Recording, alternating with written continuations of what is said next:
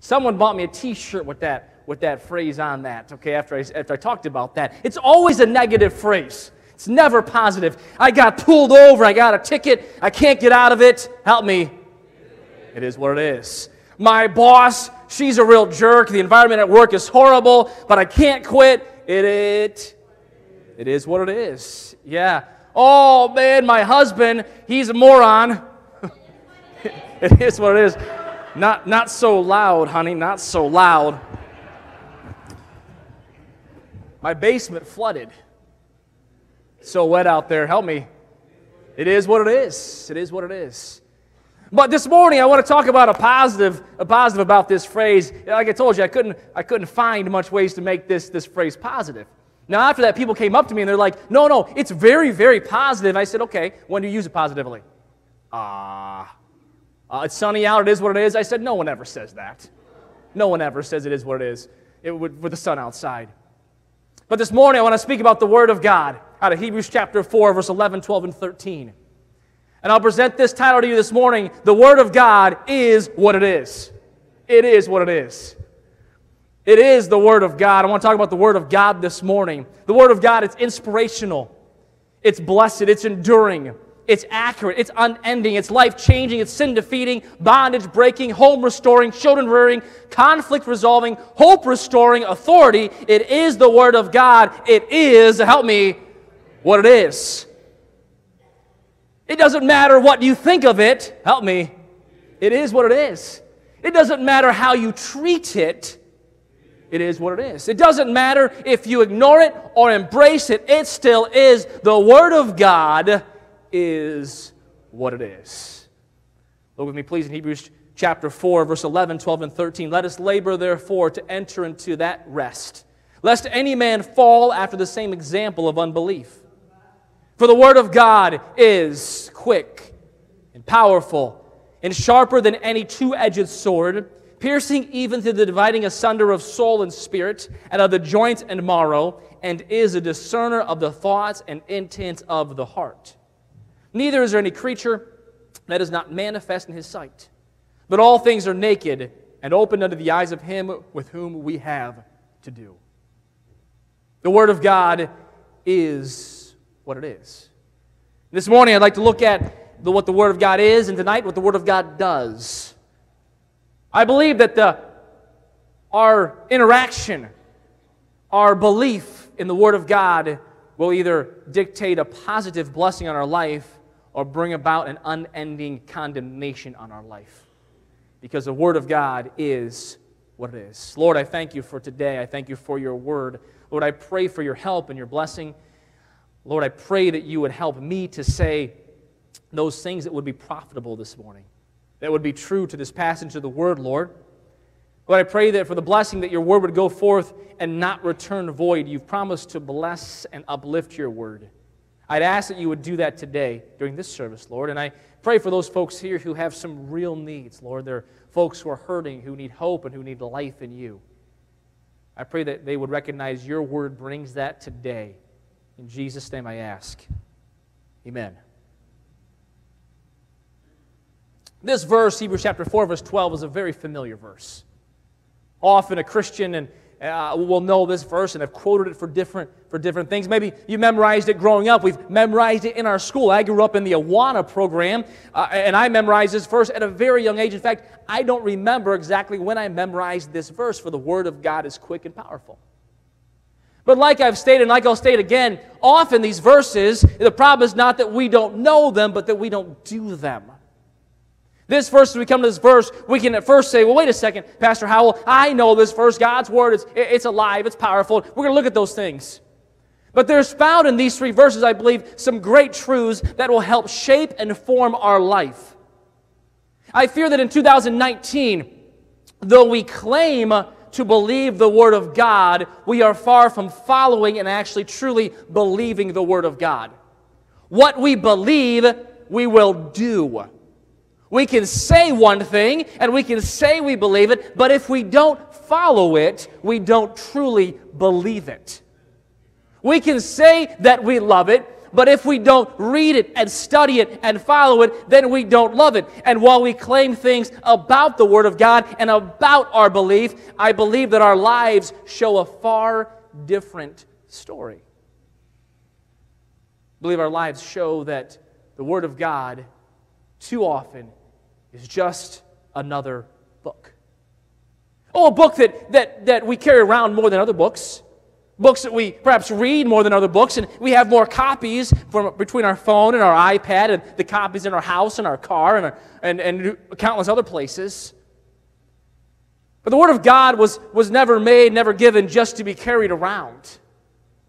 The Word of God was, was, never, was never given to us just to be presented as a gift sometime and after you win a contest or a prize. The Word of God was given to learn about God and to know God Himself.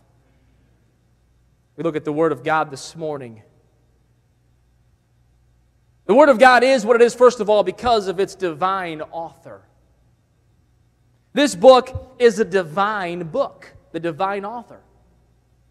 It, the Word of God, that word logos word and theos meaning God, Uh, denoting divinity. Peter answers this question in 2 Peter when he or 1 Peter, I'm sorry, when he says this, for we have not followed cunningly devised fables when we have made known unto you the power and coming of our Lord Jesus Christ, but were eyewitnesses of his majesty.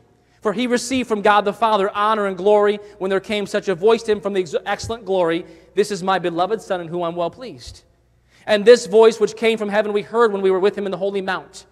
And then he says this We have also a more sure word of prophecy. Speaking of the Bible.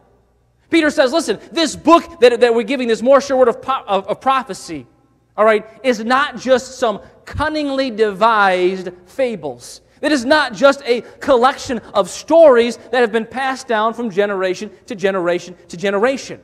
This book that we have, God's Word, Logos Theos, is not just a book of man's opinions or interpretations. It is the Word of God Himself. If it was man's book, it could be ignored. Listen, we all ignore different things that men say to do. For instance, the speed limit signs. Too often they're suggestions, fast or slow, they're merely suggestions. How about the greatest command known to man, the implied command? Not of the Bible, greatest command. Here is the sign wet paint.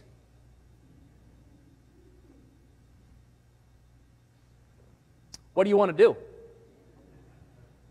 Is that really wet paint? Doesn't smell wet. Doesn't look wet. Only one way to know. I can't help my come back, little finger.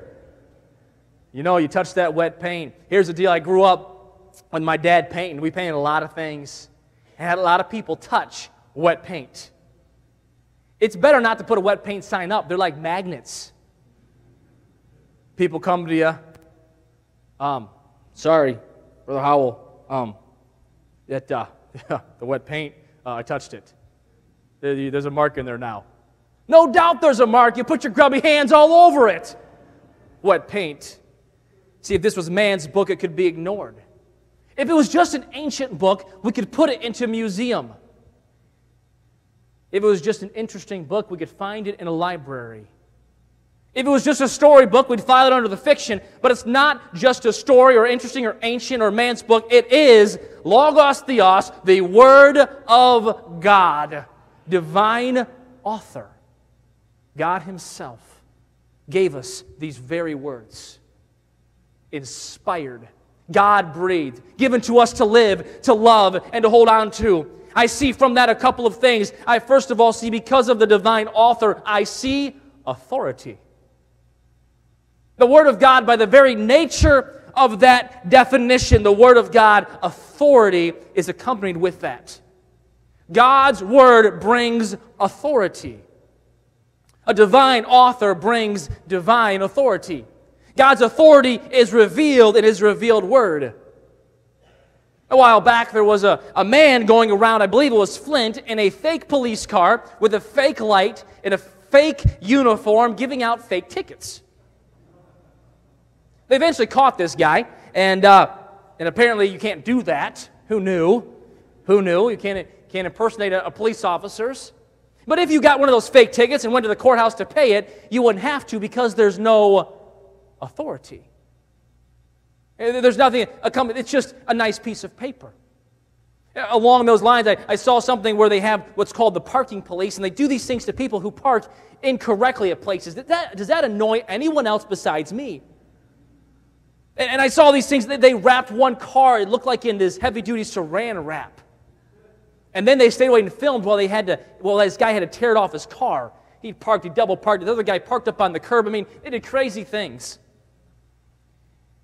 At school, every, every once in the 10 years or so, someone brings a note in that is, does not match the other signatures from their normal parental units. You know, dad signs this way, and this one is in big block letters signed dad. Yes, my child can eat treats at lunchtime, signed the, the father figure. This is not the son in parentheses.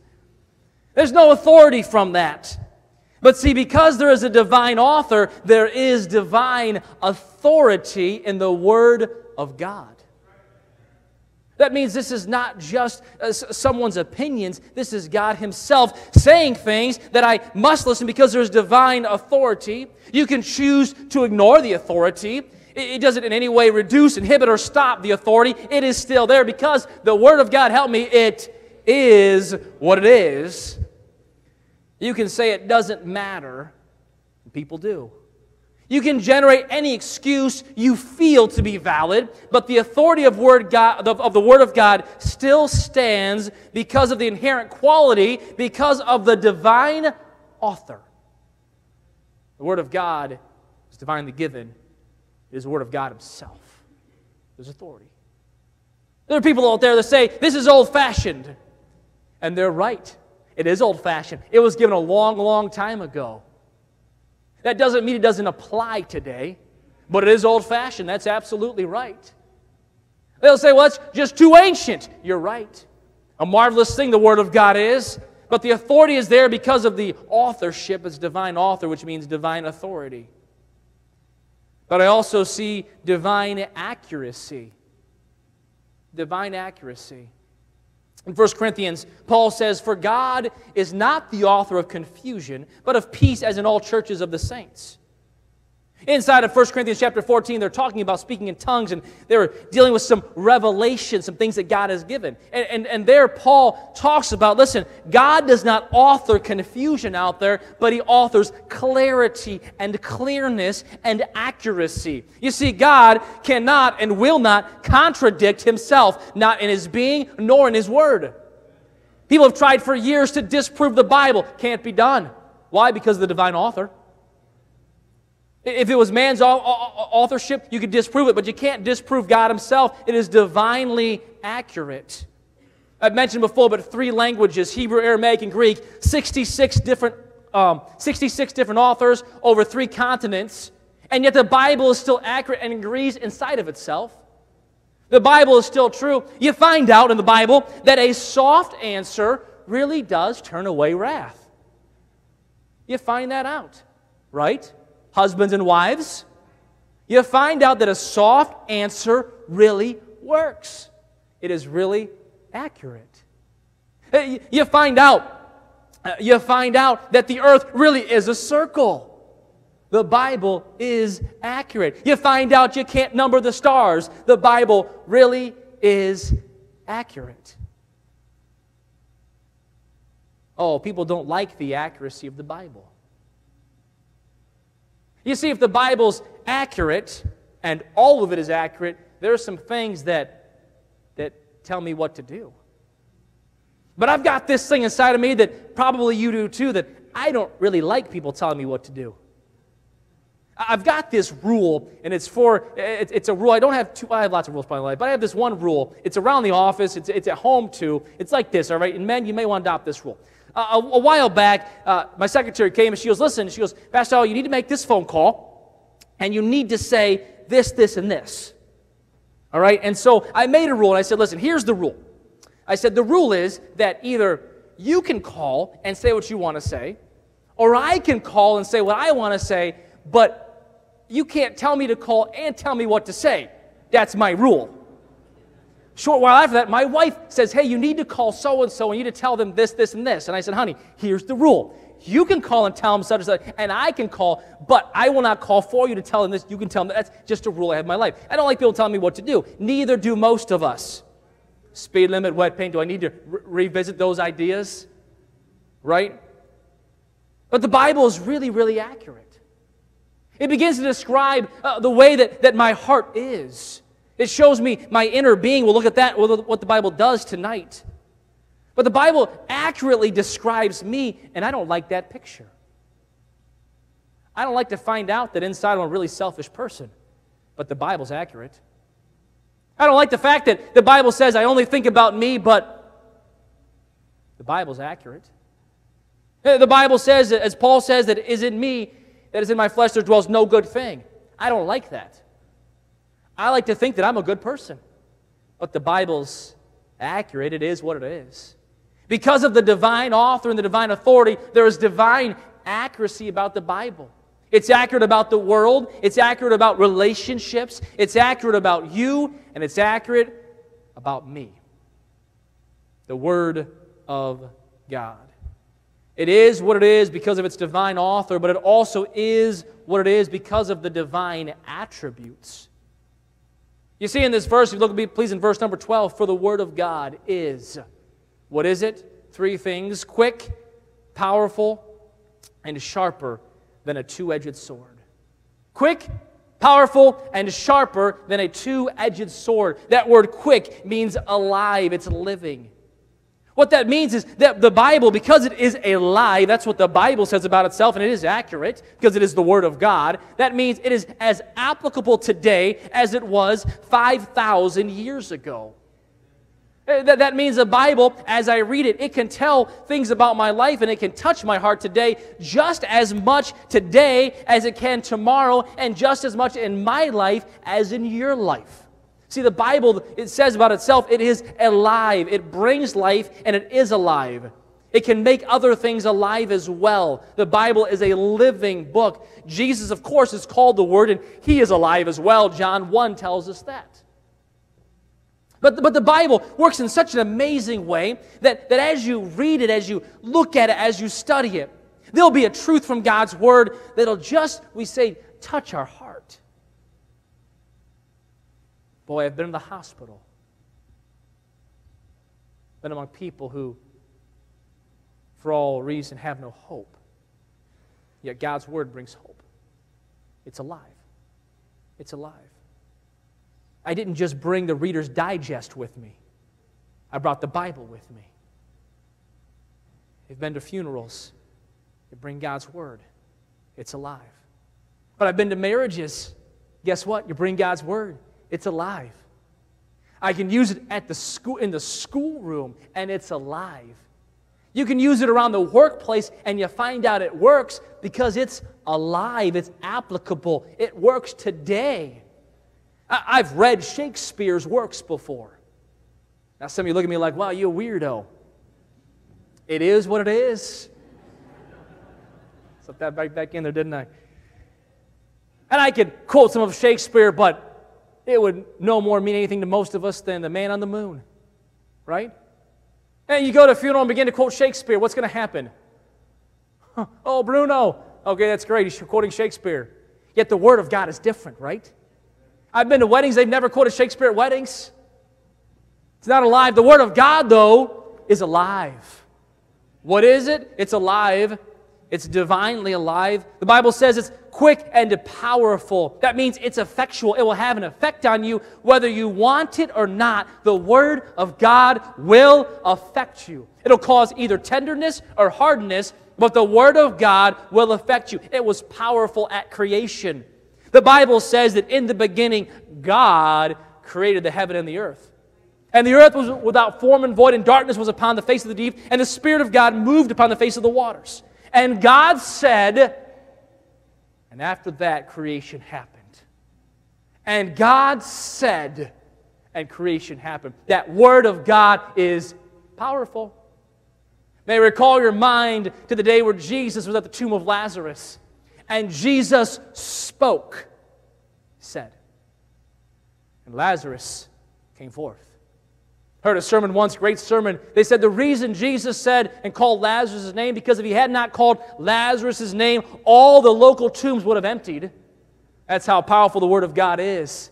Word of God is powerful at creation, powerful with Lazarus. It's powerful at healing and casting out of demons, powerful over, wind, over the wind and the sea. And the Word of God is just as powerful today as it was 6,000 years ago. Bible says God's Word is powerful. The power of a word. The man who saw Ray Allen, a basketball player, champion, ship rings, and great basketball player, Ray Allen, on the golf course. He asked Ray Allen, he said, Ray Allen, what is the one word that has motivated you to your greatness on the basketball court? And he said the one word to him was preparation. He said, I prepared hard, I, I worked hard, I, I practiced hard so that when that moment came, I was prepared. He claimed the power of a word, and yet God's word claims the power of the words right here. And if one nothing word of preparation can propel someone to do great things in basketball, how much more can God's word, the divinely authored, divinely authoritative word of God, not generate blessing and things in your life and in my life? God's word is powerful. A gorilla can be over six feet tall, weigh over 400 pounds. I read about how to stop a gorilla. They say things like fall on the ground. This is a great idea for a charging gorilla. They said never, never, never run from the gorilla, never show your teeth, never raise your arms and try to look bigger, scream and shout, and never, ever thump your chest in return, even as a joke. They said overall, how to stop a charging gorilla, and this is the quote that caught me and made me chuckle it's a really bad idea. It's a really bad idea. How do you stop the Word of God? It's a really bad idea. You can't stop it. It's alive, it's powerful, and the Bible says it's sharp. It's sharp. He compares it there to, to a two edged sword. Now, we would identify one, but, but back then in that time frame, they would have instantly thought, I believe, of the Roman sword, which was sharpened on both sides. A shorter sword, maybe 18 or so inches in diameter, maybe a little bit longer than that. A sword, a broadsword, they would, they would have been accustomed to seeing. And when the author of Hebrews would have said the Word of God is sharper than a two edged sword, they could have identified quickly with that thought they would have seen this device that cut both directions. This thing that would just cut side after side. You see, it talks about not in a physical sense, but in a spiritual sense, that every verse is a blade which is alive and powerful and can cut inside of me. It is sharp, but it's sharp in its purpose. And Paul in Ephesians says, and take the helmet of salvation and the sword of the Spirit, which is the Word of God. It's sharp. Sometimes that sharpness pricks me and brings what we call conviction. It brings a feeling in my heart that says, well, you shouldn't have said that. You, you shouldn't have done that. You shouldn't uh, have went that direction, and that's what we call, biblically speaking, conviction. That's the Word of God. Talking once to someone who was struggling with shoplifting, you know, taking things that don't belong to you. Apparently, it's a major epidemic out there. You have cameras and people, and talking about how they felt guilty when they when they took something that didn't belong to them. Well, then the Bible talks about that. That's the sword that cuts. You see, the Bible cuts here and there, both sides. Every side is sharp, every edge is sharp, every verse is sharp. It's alive and powerful, and it is there for a purpose. A sword is a purposeful instrument. You don't say, hey, I'm about to eat my soup, please pass me my sword. I'd like to make a phone call, please pass me my sword. Welcome to my house. Here's my sword. I'm leaving your house now. No, a sword has a purpose. Tonight, I want to look at what the Word of God does. That sword brings the purpose. But this morning, I want to challenge us on the Word of God. The Word of God, because it's divinely authored, it must have a place in my life. You say, Well, I've never, I've never trusted Jesus as my Savior. You know the Word of God brings life? Jesus saves. We sang the song, then we sang it again for the choir. Jesus saves. What is he saved from? Well, the Bible says, And you hath he quickened, made alive, same word, who were dead in trespasses and sins. For all have sinned and come short of the glory of God. The truth is that all of us, before we've trusted Christ as our Savior, we are dead, spiritually speaking, and the Word of God can bring life to death, can bring life. By trusting Jesus and Him alone for salvation, He will make us alive again, bring us a purpose in life, take us home to be with Him in heaven forever and ever when we, when we die. The Word of God brings life. The Word of God also brings healing. See, the Word of God must have a place in my life and in your life. Maybe you're a Christian who's been saved for 45 years. You say, I, I love the, the Word of God, I, I read it every morning. We also read the newspaper. I love the Word of God. I, I listen to it, and you listen to Glenn Beck as well. If we're not careful, we give those things the same platform that the Word of God gets in our life. And to our shame, often those things get a higher platform than the Word of God. We get more worked up about some political argument, some political thought, than we do about some verse in the Bible. We'll talk all day long about what's happening in Washington and never mention God's Word, though we claim it's divine. We claim we believe it and we love it, but the place we've given to it looks like the bottom shelf. The Word of God. It is alive, it is powerful, it is sharp, but we must give it its place. Why? It's God's words. It's God's Word. And, help me, it is what it is. Where's God's word in your life? Authority, place, or have you given it the bottom shelf? Lord, I thank you for your word, which is powerful, alive, and sharper than a two edged sword. Lord, I thank you that we can look at it, read it, and love it. Lord, I would ask that you would challenge our hearts this morning. Lord, there may be one here who has placed the Word of God, though we read it, has placed it on a lower shelf in our life.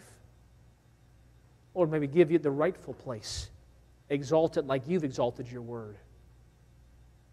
Lord, there may be one here today who's never trusted you as their Savior. They don't have that life that, that you bring, that salvation you bring.